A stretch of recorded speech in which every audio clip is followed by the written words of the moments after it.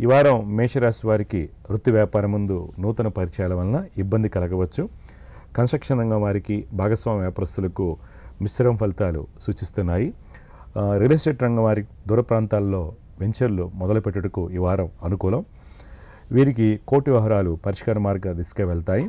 రాజకీయ రంగం వారికి తోటి నాయకుల నుండి వ్యతిరేకత ఏర్పాటుకు అవకాశం లేదు. మనోధైర్యం కలిగి ఉండాలి. ఉపాధ్యాయ వృత్తులను వారికి ఈ వారం ప్రమోషన్ లభించుకు అవకాశం లేదు. కళాకారులకు రచయితలకు చిత్ర పరిశ్రమ వారికి శ్రమతో కూడినటువంటి ఫలితాలు కలుగుతాయి. విదేశీ వ్యాపారస్తులకు విజయం కలుగుతుంది. వస్త్ర వ్యాపారస్తులకు సుఫలితాలు చోటు చేసుకుంటాయి.